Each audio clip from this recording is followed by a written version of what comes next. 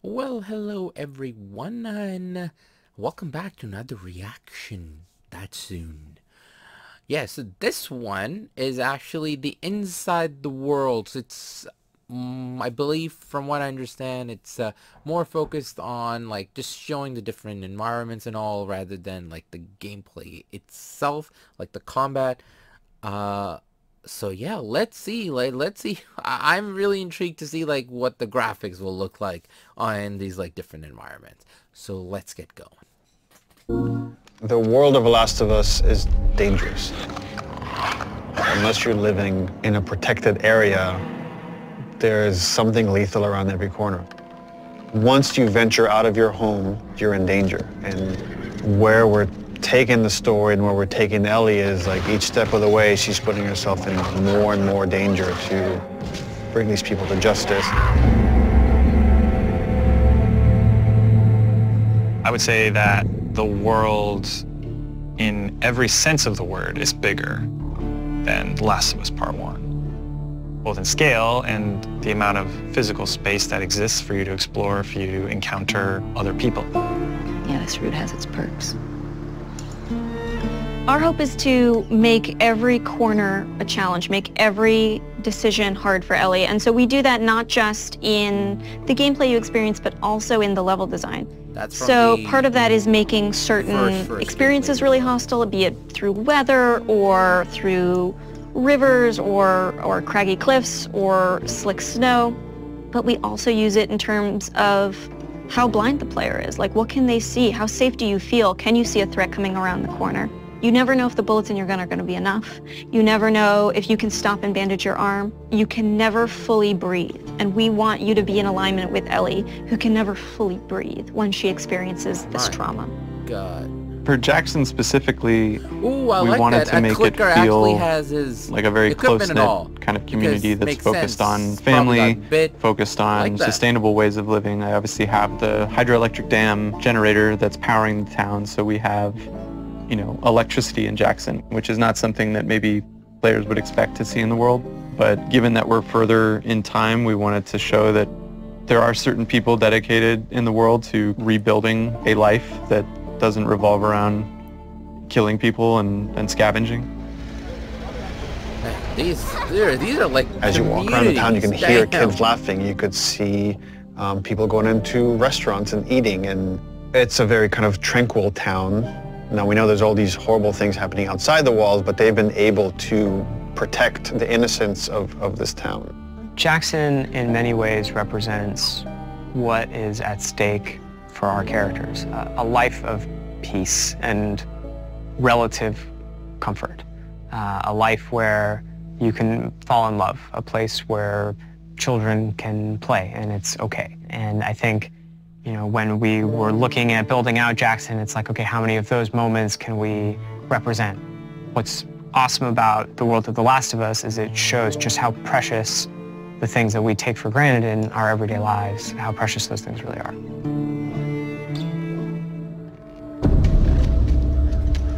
Whoa.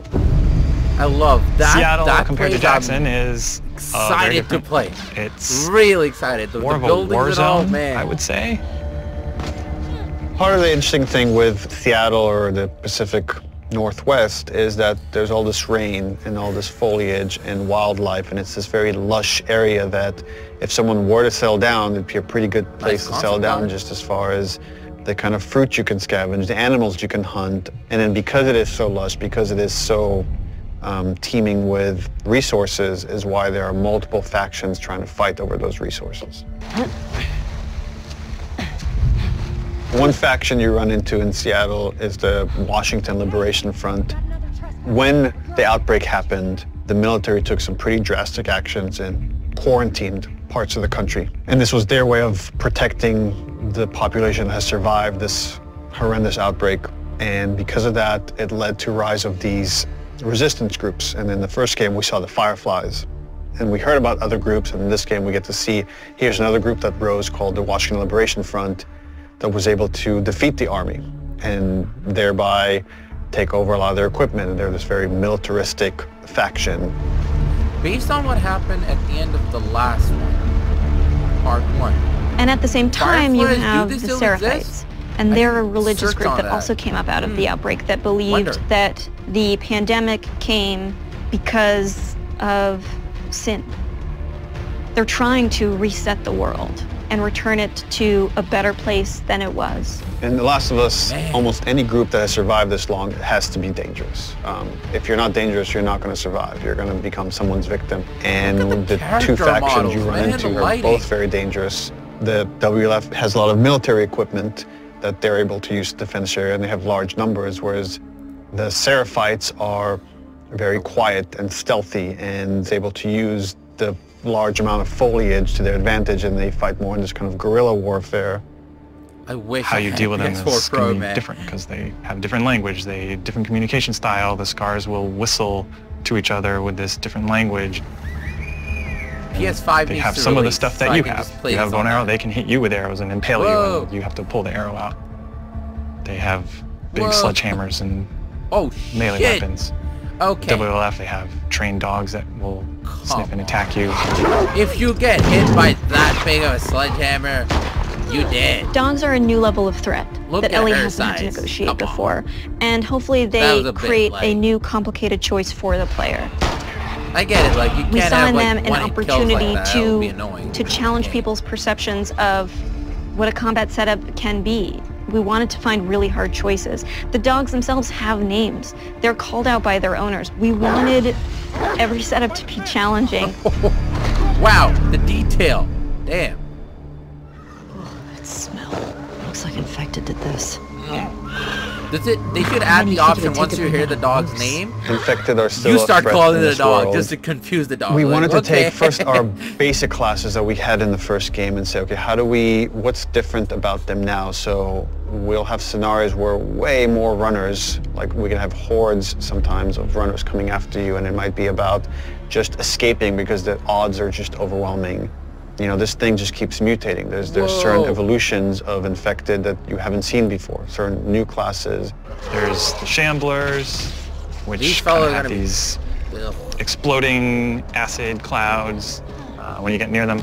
You're running down a hallway oh, and you oh, have to nice. suddenly make a decision like, oh, oh do I want to take the damage and go through this cloud or find some other route or go back the way I came? And it kind of forces you to, on the fly, kind of make new decisions about how you're going to deal with uh, the threat behind you or potentially in front of you. The way the world so again, is, it's about how do we uh, make fighting against infected of, again, intelligence. So when you come into space, you're listening to audio uh, cues because different classes will make different sounds.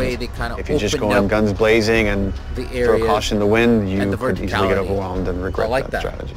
That level of uncertainty and instability is something our characters have to carry with them every day as they go out into the world to protect the people they love most. And that threat is banging on their door every day. I really hope you make it.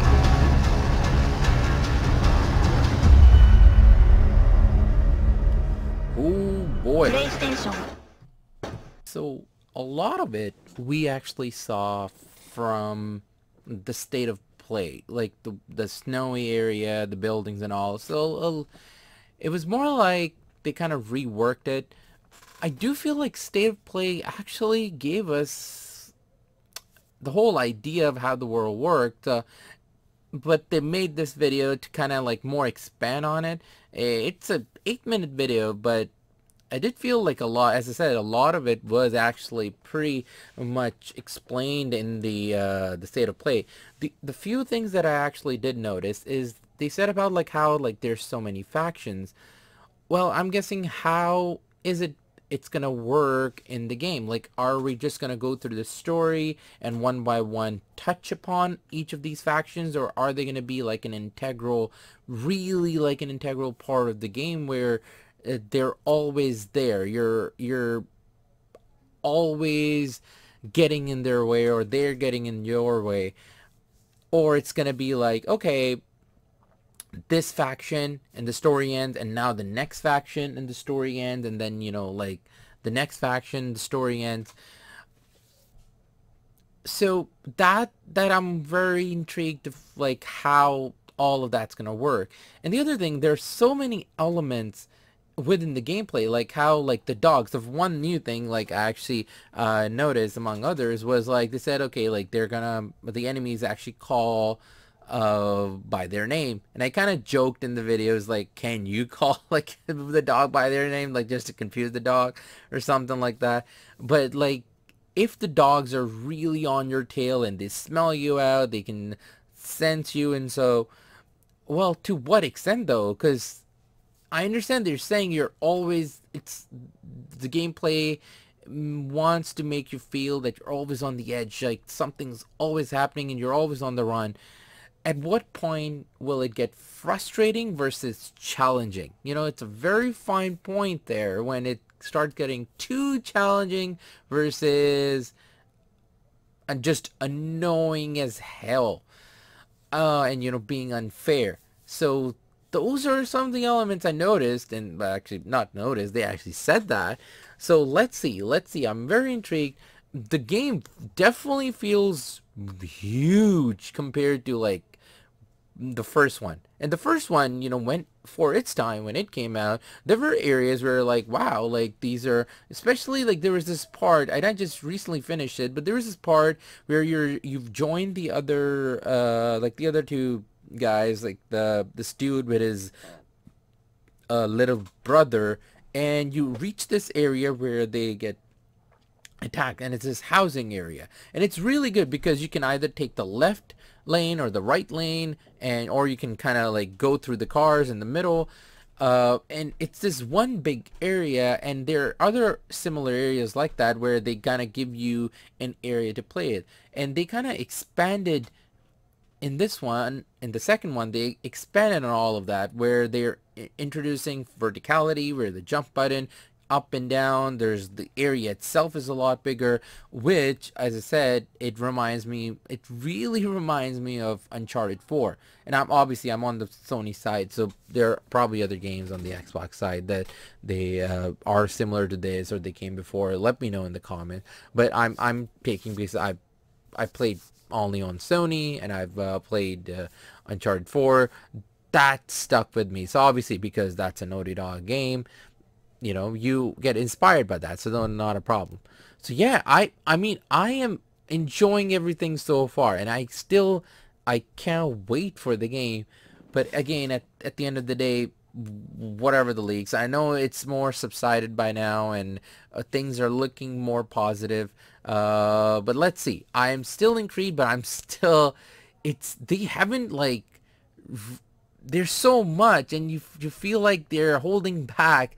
There's so much, but it's, it's that's that you're feeling because of everything that happened and you're like, okay, what's, more to the game? You know what's more to the story? Uh there that's a story uh, trailer that came out. Since then there's nothing else. It's only been like gameplay and stuff like that and more into the world. But the one thing i did notice was at times her partner is with her and there are times she is not and she has that bracelet okay uh, all i know this is going to be a depressing ass game that's all i know but yeah, there you go. Uh, let me know in the comments what you think and uh, are you excited? Are you not excited? Are you too excited? Are you worried? Uh, let me know. And yeah, with that, uh, hopefully you liked the, the reactions. And I know it's a bit late, but still, hopefully you liked it. Uh, thanks for all the support. Please don't forget to subscribe. Also, don't forget to let me in the comments how I'm doing, what I'm doing wrong and right. Uh, yeah thank you so much. Thank you for everything. Uh, stay safe, take care, and I will catch you all later. Ta-ta.